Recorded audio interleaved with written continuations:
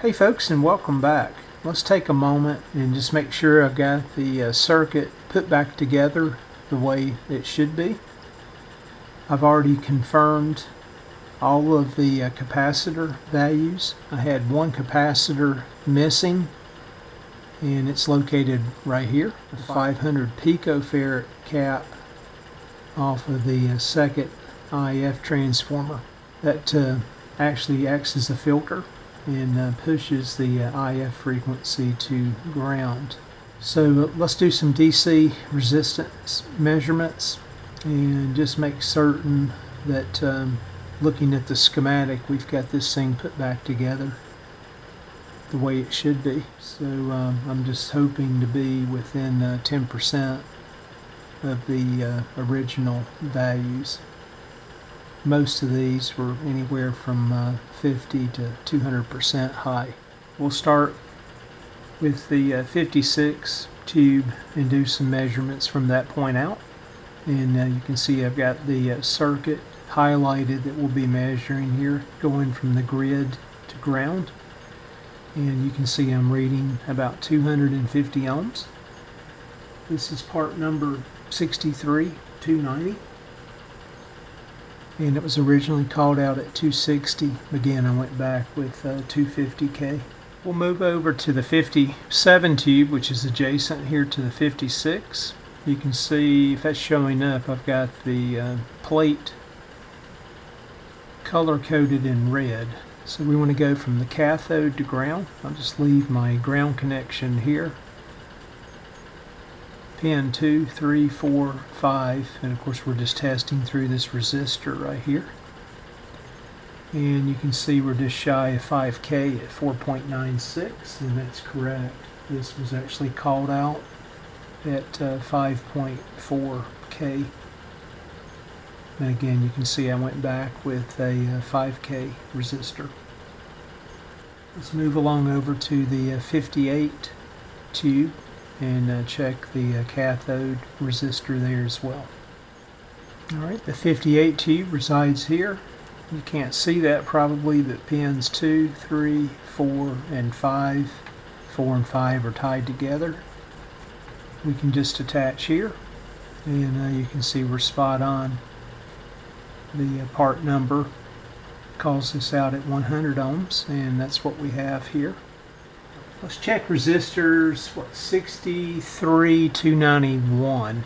And uh, we'll go from the plate of the 56 to the uh, plate of the 58.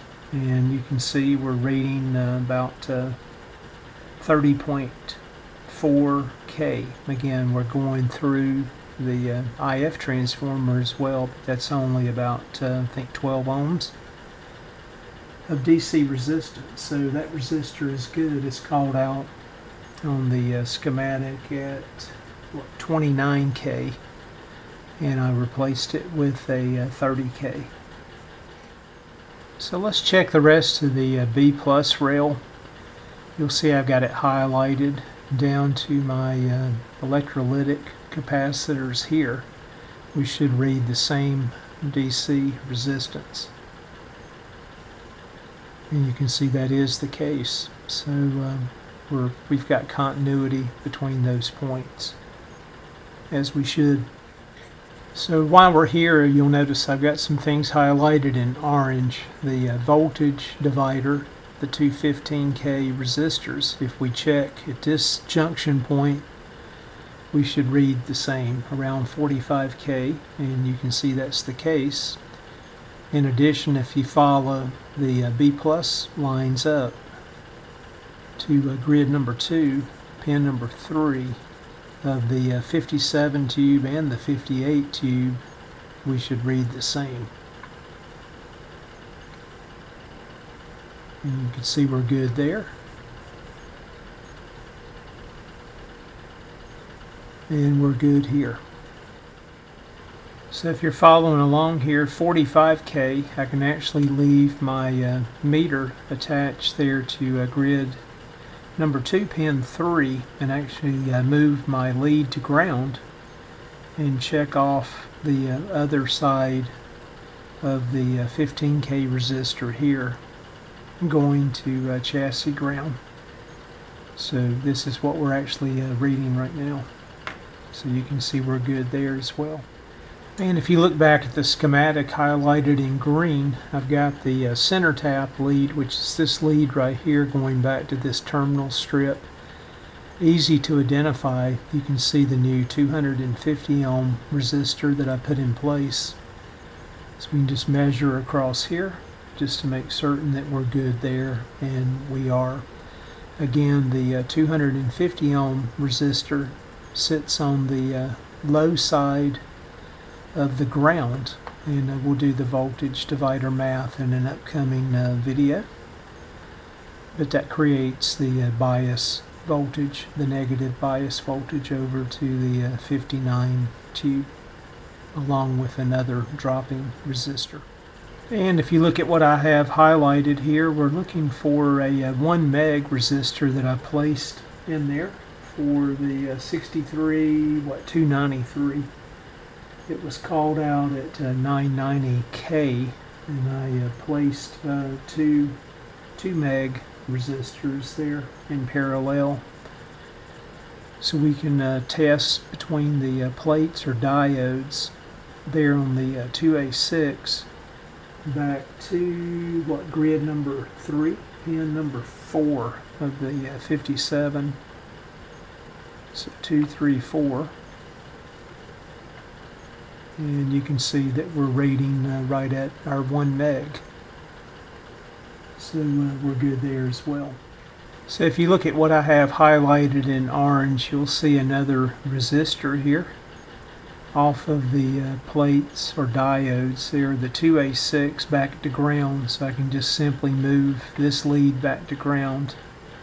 And uh, we can read through that. That's uh, part number 63295 called out at 120k on the uh, schematic and I went back with a 100k uh, and a 20k in series with each other.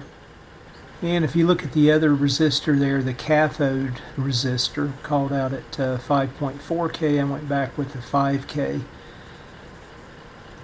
I can actually just move the leads here from the uh, diodes back down to the cathode pin number 5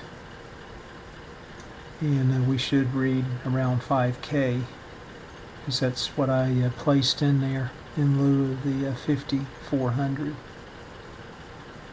again if the uh, cathode resistors create an issue we'll uh, bump those up I think we'll be just fine. We're less than 10% uh, from the uh, original called out value.